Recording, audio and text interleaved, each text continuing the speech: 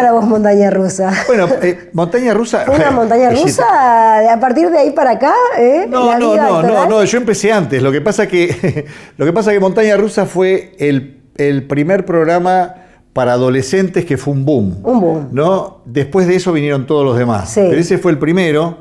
eh, y yo hacía uno de los malvados que vengo haciendo de mi galería.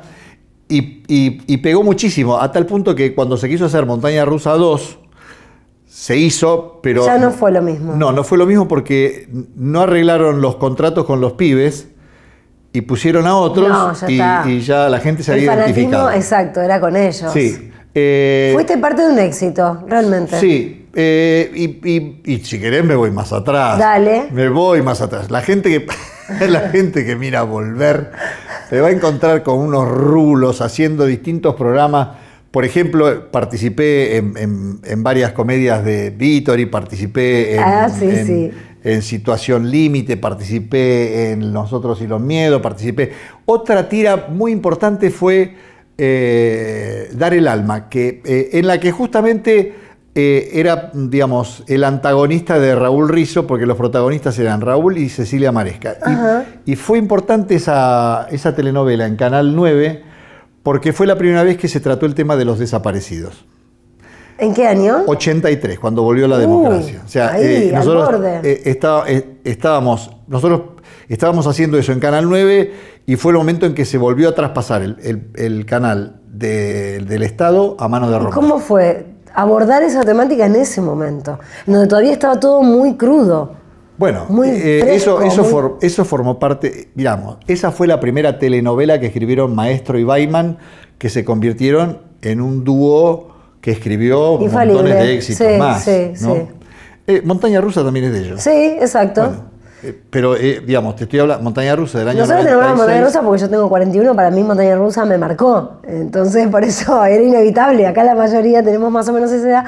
Pero, digo, has participado. Y me están ahí pispeando que estás grabando una, una nueva tira para Telefe. ¿Puede Estoy ser? haciendo, Con no, hice, A ver. Sí, estoy haciendo, te voy a dar una. Dale, una primicia, dale. Nosotros somos Telefe, Canal 5 Telefe, así que vamos por ese lado. Pero A esto ver. no lo sabía. A ver, no, seguro que no. Eh, estuve grabando un, eh, un piloto que produce eh, Estebanés, Quique Estebanés, para que te des una idea de lo que es la producción de ese Sí. piloto.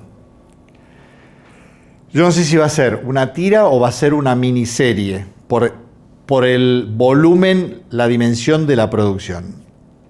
Obviamente, eh, él tiene su propio estudio, que es el estudio Pampa.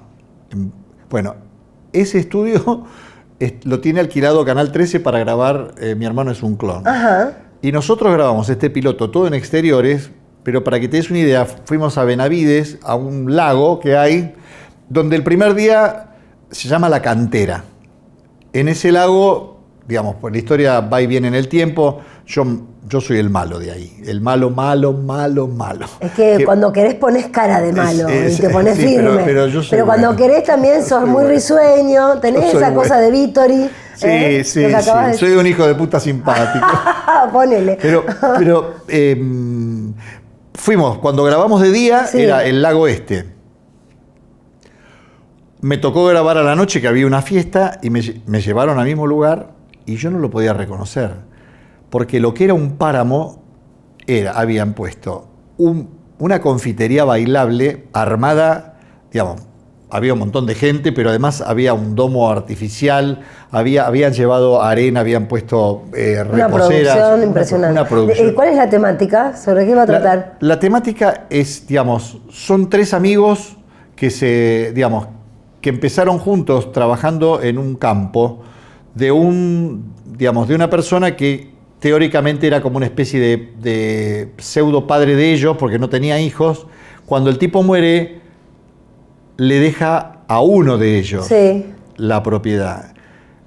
Y este se siente despechado y entonces los otros dos estaban como, digamos, eran más compinches y él mata a uno y de ahí se va.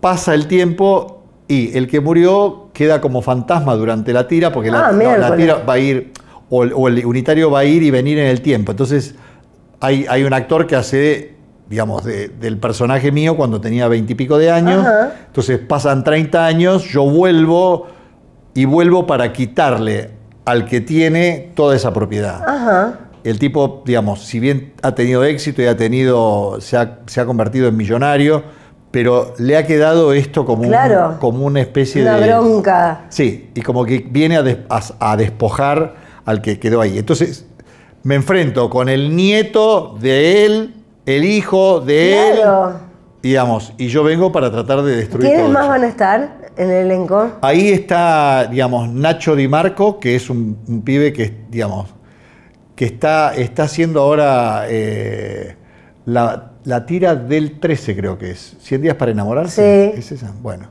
Hay, hay dos o tres pibes. Bueno, está. mm, el otro pibe es eh, Gra- Grandinetti, Juan. Eh, y el otro pibe, eh, no me acuerdo cómo se llama. Claro, todos los que están, bueno, 100 días para enamorarse que está pasando por Telefe, Bueno, lo- digamos, un las, éxito. las caritas que tienen ahí son las que van a Sí. estar acá. Digamos, Claro, eh, Telefe sigue apostando a estas figuras que hoy por hoy tienen un éxito. ¿Por qué? Volvemos a lo que hablábamos antes, porque abordan temáticas del transgénero, cuestiones que hoy son parte de la realidad y que son necesarias abordar, que no se pueden obviar. No, yo ¿eh? Y más si se hacen acá, este, este tipo de, de Bueno. cuestiones y no se compran, no vienen de afuera, ¿no? No, no, yo estoy de acuerdo con eso. Yo, cre- yo creo que además la, digamos, la cualquier medio de difusión, Sí. digamos, además de entretener, cumple una función social, digamos. Claro. Sí que, sí que lo, sí que lo Ente- cumple. Como para que la gente reflexione, entienda, aprenda, como para, digamos, para educar, para formar, Sí. para ilustrar, para abrir el- al conocimiento. O sea que, sí, yo creo que es, digamos, está bien. eh, yo no estoy en contra de- del entretenimiento por el entretenimiento en sí. Pero si vos podés divertir a la gente y además de eso, dejarles algo, y es Mucho mejor. Hablando de, de dejarles algo, sos docente, ¿qué? Plata. Ya estaba metiendo la mano en el bolsillo. ¿qué? Eh, sos docente. Sí. Eh, la Casa Moreira tiene. La Casa de Moreira tiene, ¿Tiene algo de, de ese sentido? No, no, es, es eso. Digamos, mira, De dejar algo, a eso me refiero, ¿no? sí, claro. Bueno, digamos, eh, yo te voy a explicar esto. Yo egresé del conservatorio, porque me preguntaba ella Sí. de los orígenes. Bueno, Sí. yo egresé del, del Conservatorio Nacional, del Viejo Conservatorio, en el año 74. De ahí, digamos, que estaba dirigiéndolo al ESO, me lleva a su estudio y empiezo a dar clases y a tomar clases con él y con la vieja Crila. Y desde entonces fue en paralelo mi aprendizaje, mi docencia y mi trabajo como actor o como director. Sí. Y ahora estoy escribiendo también, porque uno va eh, vi- viendo el, el trabajo de distintos ángulos. Siempre tuve un sueño que fue tener mi propio lugar, porque durante todos esos años yo alquilaba y no es lo mismo. Finalmente pude, eh, con mi mujer, eh, con quien estoy allá hace 12 años, ahí anotá para el, para el currículum, eh, Josefina, Para el Facebook personal, para el. Facebook personal, eh, compramos este lugar que está en el centro y, y armamos la Casa de Moreira, que es donde yo doy las clases, donde yo además ensayo los espectáculos. Los últimos, no este, pero El ocaso de un estafador, El invernadero, Guayaquil y, y hay otro más que se me está escapando, los ensayé, El Padre lo ensayé ahí. Eh, Es tu casa. es, es mi casa. Pero ¿sabes por qué, digamos, por qué le puse la casa de Moreira y no el taller, el teatro o el estudio? Por lo que te voy a decir ahora. Vos a tu casa, ¿dejás entrar a cualquiera? No. Yo tampoco. Pero ¿qué es la diferencia? La diferencia está en que cuando vos abrís la puerta de tu casa, le das al huésped lo mejor que tenés. Sí. Y básicamente le das respeto y cuidado. ¿Y qué es lo que le pedís al huésped? Lo mismo, cuidado y respeto. Esa es la, eh, la regla número uno de la Casa de Moreira. Mm. Si esa regla no se respeta, yo le digo a la persona, mira, yo esto te lo dije el primer día, porque tengo una entrevista de, de Para 45 conocerlo, minutos, claro, sí. saber los Y explico esto. sí. Y si esto no se da, y no se trata del respeto por mí o por el lugar, sino por los compañeros. Claro. Para preparar un trabajo, para no dejarlos plantados, para. ¿No? Bueno, pero te quiero decir, yo creo, creo que, digamos, más allá de una técnica que yo trato de transmitir, lo que intento es que a través de esa técnica que tiene que ver con la conducta humana, porque lo que hacemos los actores es eso, crear conductas humanas, podamos mejorar nuestra conducta con los demás. Interpersonal. Con los demás. Claro. Eh, para cambiar de tema y para cerrar, eh, primero agradecerte y agradecer el hotel, eh, el Hotel Libertador, que nos ha dado muy gentilmente este espacio. Quiero que me cierres diciendo cómo se va a llamar lo que vamos a ver en Telefe. La cantera. La cantera. Ah, porque vos hablabas del lugar, se va a llamar como el lugar. Y obvio, pues todo, tiene que ver con eso. Ahí es donde yo mato al pibe. Ahí pasa todo. Ahí pasa, ahí pasa, ahí pasó todo lo que dio comienzo a la historia y ahí es donde yo vuelvo para conseguir eso. Es, es como la, la presa, ¿entendés? Así Bien. se llama, la cantera. Que sigan los éxitos con la cantera, con eh, nuestro querido enemigo, lo seguimos buscando al enemigo número uno. No, pero vengan, vengan que se van a Sí, divertir, lo sí. van a pasar bien, porque además, digamos, si bien tiene un tema, digamos, que tiene que ver con todo lo que estuvimos hablando, Sí. pero tiene sesgos de comedia. La gente se ríe, se divierte y también piensa. Y también putea y también se descarga. La vida misma. Es la vida misma. Es la vida misma. gracias. No, gracias a ustedes.